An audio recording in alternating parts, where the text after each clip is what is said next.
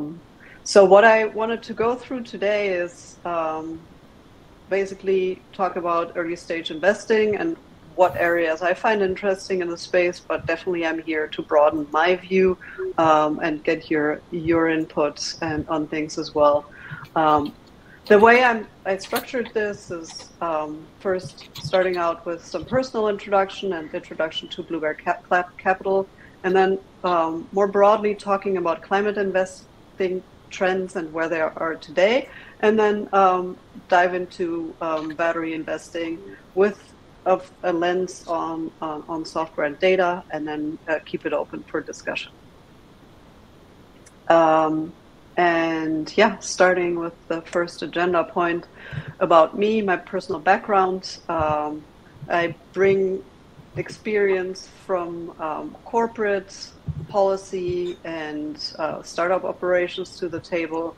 Um, before joining Blue Bear, I was a COO at two different energy storage startups, um, and building battery-based products, figuring out manufacturing, supply chain, um, technology. So we weren't building batteries, but battery-based products.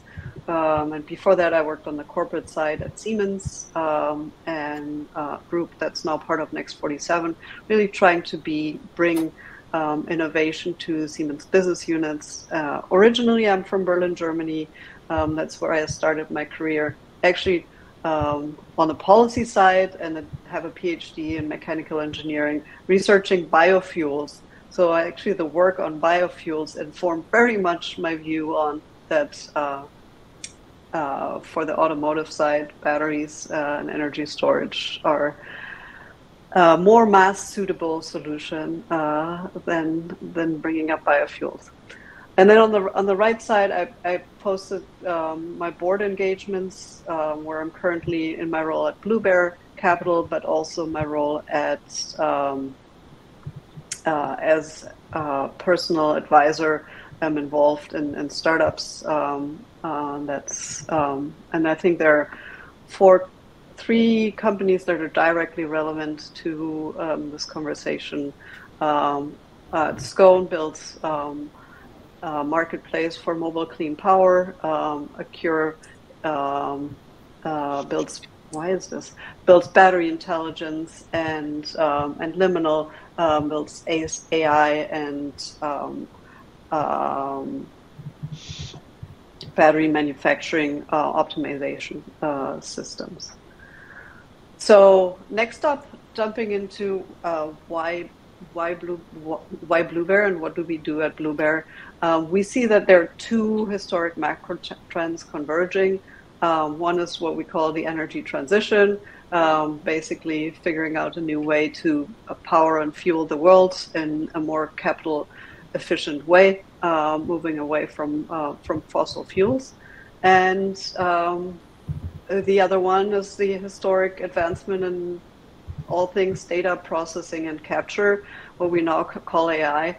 Um, and we see that there's an amazing trend, two amazing trends to be to invest in. Uh, we haven't started that last year. It sound, could sound like that, but we've been doing this since 2016, um, and uh, and just see, yeah, even more opportunity coming our way as the advance, advancement in both those industries are happening. Um, and then our focus is investing in, in the data and, and software centric part of this. Um, we see that obviously the energy industry is is, is changing, um, but while this is happening, um, there is a lot of need to enable, accelerate, and debottleneck what is going on. Um, so areas um, that we're really exciting excited uh, that might not sound as exciting, but um, on the software side specifically, like the optimizing um, siting, permitting, engineering, procurement processes, um, field services and maintenance is always are always areas that we see are widely underserved. Um, financing, insurance, and uh, and then yeah, the more energy traditional topics um, that that you're uh, you're seeing here. Um, so there's yeah, there's a lot to be done. and um, we all know that renewables are um, used have been used more than coal and are outpacing other um, traditional industries. So it's really exciting times. Um, where we position ourselves, um, uh, just also for the, the startup founders in the room, um, really um, use the digital technology and uh, energy uh, solution kind of overlap um, our team comes from the energy side, um, both from the energy private equity world, that's where a lot of our LP base is from, um, and also just from like energy investing in general, um, traditional and renewable energy, plus um, the corporate and startup side of, of the world. Uh, so we think that we're we have um, yeah a lot of experience in the space, but uh, also always staying humble and learning as uh, you never know what's around the next next corner. Um, our strategy is investing in companies that are at the early growth stage. Um, so we don't look at taking the kind of binary technology risk, but we want to see that there's already some customer traction um, and then we invest in uh, high concentration strategies. So we only make like 15 to 20 investments out of each fund. Um, and uh, fund two and three, we're investing out of our third fund, both about $150 million vehicles. And then really continue to work with those companies we invest in closely as, as they grow. Um, and specifically also help folks take advantage of the connections into the energy private equity industry, which is about half the dollars spent in the U.S. energy industry um, on the private side. Um, this slide is a little bit showing on like hardware versus software. I hope that we can have more conversation about this. We focus on asset light businesses um, that can mean that like a lot of the hardware built is is somewhat outsourced or uh, or um, handed over to others. Um, we see that climate tech software um, needs less capital, and there is a more aligned outlook on how there can be an exit um, that is, yeah, closer aligned with uh, with with fund life. Uh, but I think that's probably an interesting question that we can discuss discuss later on um, what and broadening from that view, what are the different um, areas of capital that can be used to fund a startup? Because it's not just VC money that you can tap into, which is actually pretty expensive, but multiple other sources of capital. So I think that would probably be a good topic to to look at later. Um, a lot of the data points that I'm using here and graphs are from a Silicon Valley Bank report that just came out in May. I found really interesting. Uh, they call it the future of climate tech. So I just wanted to highlight that some of these graphs are taken from there. Um, and just ending our um, port, our, our, the introduction to Blue Bear Capital uh, with a snapshot on um, on our um, portfolio, which is the most important parts of yeah what we're doing. Um, uh, Fund One um, is has, is fully deployed. We're not making any new investments. The same in Fund Two. Um, Fund Three is is open, and we just started investing out of Fund Three last year. So we have active uh, dry dry powder to invest, as we say. And if you are uh, your startup kind of trying to also assess like who has actual money to invest. I think that's also an interesting question um, because yeah, there are lots of funds out there, and I understand that it's hard um, for founders others uh, to see like who is actually a good fit um, and um, yeah how how how to look at kind of some of the fund strategies and uh, fund mm, um, lifetime over like overview where where folks are. Um, so with that, I would jump into um, the next kind of chapter of this presentation, unless there are any direct questions in uh, to the introduction that we should cover right now. And I'm just jumping out of the full screen view to see if there are any raised hands or such. Kind of. We'll ask questions later on. Okay. All right. Let's do that. Um, so, climate investing trends. Um, I just want to go kind of start in the climate investing macro and then getting into battery investing in some areas of focus that I find interesting. Um, first up, where are we today in climate investing from a venture capital perspective? So, not just startups have to raise money, but VCs have to raise money to be able to invest.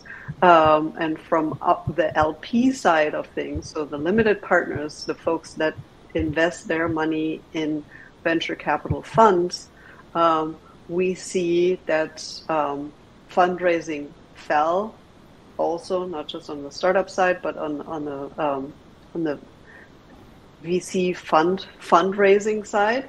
Um, but you can see that almost kind of you can view it diff- two different ways. One, it's like a pretty um, pretty big drop to where we were in 2021, or you can say, well, we are back to the levels where we were in 2020. So, my, from my perspective, I think that um, there was a little bit of a special situation in 2021 and early 2022, and now the market has normalized a little bit. Um, and we also see on the right side um, that the climate tech side um, is more has been more resilient than general tech in terms of how um, fundraising has gotten harder despite all the narratives that we read uh, on the uh, about ESG or such. So I think there's a fairly resilient market, and if you're starting to build a company in the climate tech space, I still think it's a terrific time to do so, um, because you'll find um, if if there's alignment with uh, markets, um, you'll find a lot of potential investors to speak to, and uh, and um, yeah, I think there's a good good path to fundraising in that space. From a startup perspective, that's kind of the other side um, of, of the same metal, if you will. Um, the deal activity has remained um, pretty robust compared to 2020 as well. Um, there is a lot of dry powder out there, so a lot of capital looking for investment. Um, but what we've seen that has changed is folks are looking a lot more into, um, yeah, businesses that show some kind kind of capital efficiency. Um, and the drop here um, we see most predominant uh, or prevalent is the large deals.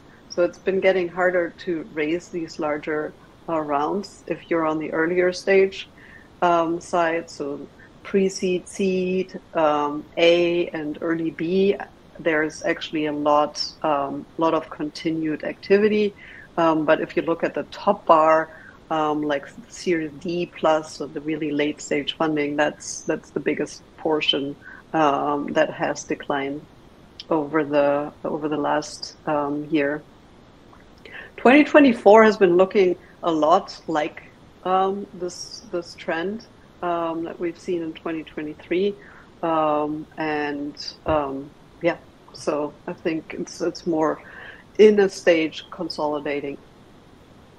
Um, this is a bit a bit of a busy slide. Um, I think I just wanted to mention that there is a lot going on on the tax credit side, IRA funding and uh, and how this is actually decreasing um, technology cost. Uh, and this is I found really interesting uh, graph on the on the right here that I'm going back to again and again from um, from the folks at um, CTVC. If you have not looked at their um, website. I think it's yeah, it's always interesting articles, um, very interesting newsletter to read. I can highly recommend it. Um, but yeah, if, if, if you look at how um, the um, IRA tax credit is kind of driving down battery manufacturing and battery pack and cell manufacturing costs by about 35 percent. Um, that's that's uh, pretty impressive and important. Um, and then, um, yeah, making kind of the, the track over into the battery investing side with a similar graph, um, how the need for batteries is really growing. Um, two data points. One is the growing need for flexibility, just because we have reached about um, 60% of generation um, in the US at times coming from uh, from solar. So the duck, duck curve is really um, the duck curve is, is, really important here. Um, and um, with, I mean, why duck curve? Because it looks like a duck. Um, it's basically uh, the need for flexibility. That's the uh, the demand on the on the top versus the generation on the bottom. So we need a lot of flexibility here in on um, in the markets. And um, yeah, on the right side, batteries have been, especially the manufacturing side, uh, they they have gotten a lot of the share on the 2023 U.S. climate investing, um, and that just shows how the market is responding to yeah to the needs and advancements in the um, energy uh, ener- on the energy storage side. So that leads me into kind of more of like our Bluebear um, capital analysis on what we looked at. What are the digital solutions around the battery value chain that we think are, yeah, that we see and that we are interested in seeing more about. Um, and we go about kind of creating these value chain overviews. They're helpful, um, not because we're we want to do these um, um, market these. That's not the business we're in, um, but just to organize our own thoughts and organize the conversation that we have um, amongst the team and with others. So we see a lot of opportunity around the design um, and selection um, the validation and testing side, manufacturing and assembly, um, um, and then in-field performance and end of life. And there are different pockets um, of yeah what what could be can be done um, to accelerate uh, the development. And out of that, then we kind of went into this big kind of okay, so what, who's doing what, who do we want to talk with? And um, and here we so far we kind of put the logos on the slide, and this is always evolving. Um, and as we're having more conversations and looking at more um, companies and trying to make more investments, um, this kind of this slide and the, and the um, the spreadsheets that sit behind that is always evolving.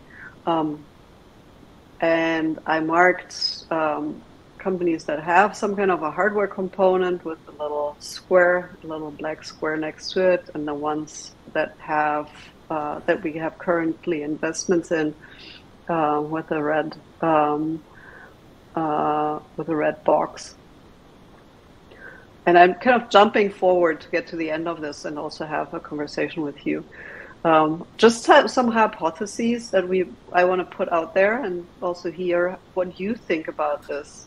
Um, we see that there, for like AI and Gen AI, there are th- three main use cases for um, um in battery R and D: um, material discovery, system level understanding, and validation testing. Um, and here are a couple of company names that uh, that come to mind. Um, and then there are the considerations that we have uh, for investing in space, the, the market size selling to battery manufacturers is so far not very exciting. We see a lot of hesitation in the space from battery manufacturers to try out new things and to um, look at specifically kind of black box AI where you don't know what's actually happening. Everybody wants to have the transparency around the AI and then maybe build their own and just kind of smarten themselves up.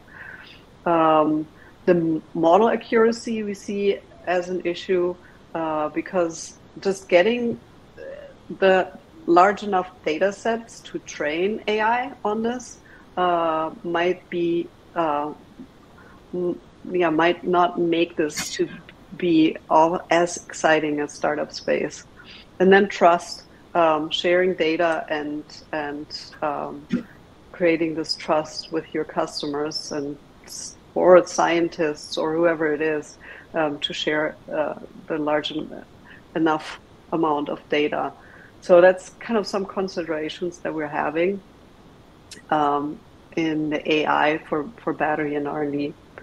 Um, the other area we've took, taken a deeper look at is kind of the end of life battery market, which we find always interesting and see as it's growing um, and track it. Um, fun fact, actually, at BlueBear, uh, at, before BlueBear, uh, when I was at FreeWire, we built battery backed, uh, second life battery backed products. Um, and there was lots of interesting findings here. Um, so yeah, supply chain traceability we find very interesting as a space. Um, as yeah, there's there's a lot to be tracked: um, materials, batteries, manufacturing processes, um, all kinds of um, yeah system level understanding, not just uh, not just the cell themselves. Um, then there's quite or there are a couple of folks getting into marketplace as a service like how can we track these batteries and then make them available to the market?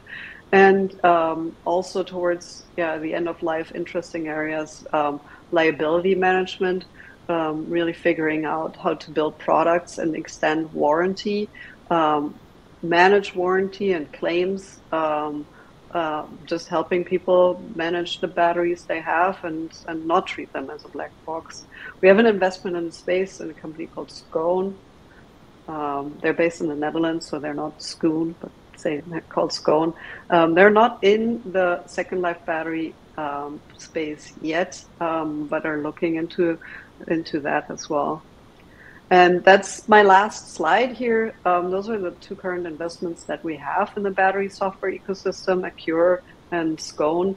Um, Accure builds battery um, intelligence and optimization, uh, mostly for in-field performance, um, and have some ideas in the manufacturing and test optimization.